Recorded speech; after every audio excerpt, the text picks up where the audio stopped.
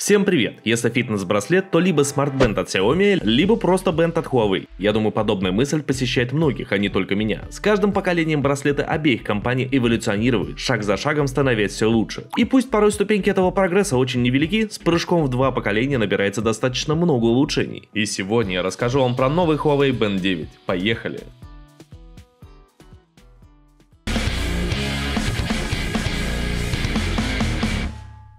У меня до сих пор лежит старенький Band 7, которым я пользовался в промежутке между тестами других часов или браслетов. И при прямом сравнении видно, что при одинаковой диагонали и площади экрана размеры корпуса уменьшились, отчего создается впечатление, что дисплей стал более вытянутым. В каких-то моментах кажется, что семерка выглядит симпатичнее, но сами ремешки у новой модели интереснее и держатся куда лучше, плюс цветные вариации весьма интересны по своему исполнению и дизайну.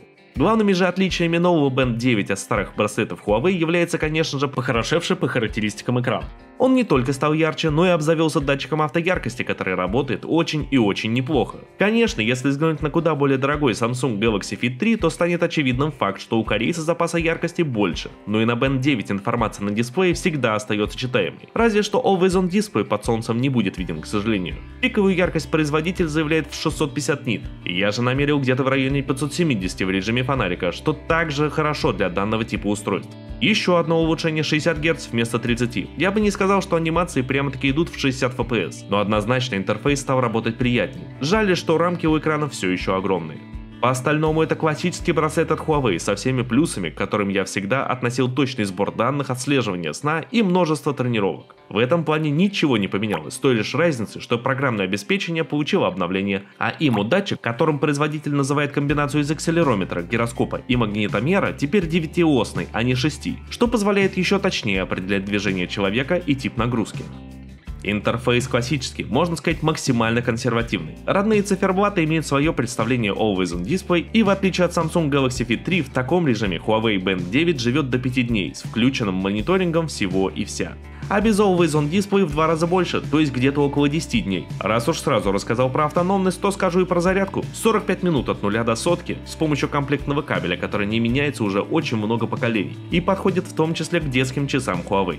Как и обычно, на поступающие сообщения в мессенджерах можно отвечать заготовленными ответами, переключать треки в запущенном на телефоне музыкальном плеере и вешать трубку входящего звонка. Микрофона и динамика тут для приема нет, хотя не столь известные китайские производители за сопоставимые деньги уже представляют часы с указанными компонентами, да еще и с модулем GPS. В Band 9 GPS, к сожалению, нет, видимо его добавят еще через пару поколений.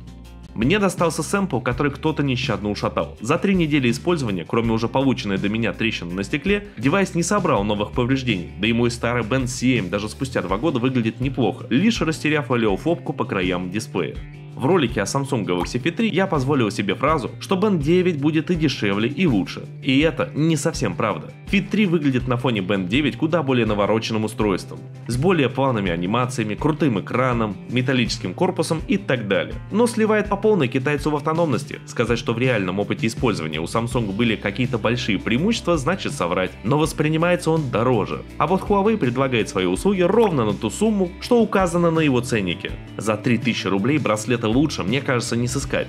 Как показала моя практика, живут браслеты от Huawei очень долго, а прошивки отличаются хорошей стабильностью. Это, кстати, снова камень в огород Samsung, который отвратительно снимает данные о сне ночью, в отличие от куда более доступного Band 9. Кроме того, корейцы почему-то откинули огромную часть рынка в лице устройств от Apple. Их браслеты нельзя подключить к iPhone, а вот Band 9 можно и нужно. Синхронизация со смартфоном производится фирменным приложением Huawei Health. Из Play Market его удалили, хотя в App Store оно все еще есть. На Android ставим через App Gallery. В этом проблем нет. Да и большинство уже поставили себе альтернативный маркет из-за трудностей с покупками у Google после всевозможных санкций паре с родными смартфонами от Huawei в меню приложения браслета появляется камера, которая позволяет управлять затвором и включать приложение на телефоне. Но картинки с видоискателя на браслет передаваться все равно не будет. Интеграция в самом смартфоне также не сильно отличается от работы браслета с любыми другими телефонами. Разве что в разделе суперустройства можно будет сразу перейти к разделам из приложения Huawei Health. Защита от влаги пыли имеется, причем сразу уровня 5 атмосфер. Не буду скрывать, старый Бен 7 я вообще не жалел, и он, как видите, до сих пор жив. Бен 9 навряд ли будет хуже по этому параметру, скорее наоборот.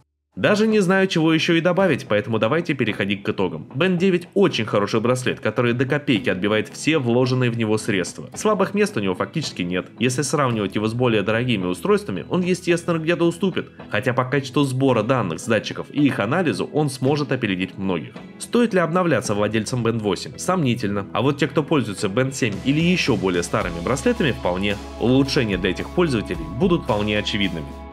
Ну а на этом у меня все. Подписывайтесь и ставьте лайк, ведь впереди нас ждет много интересного.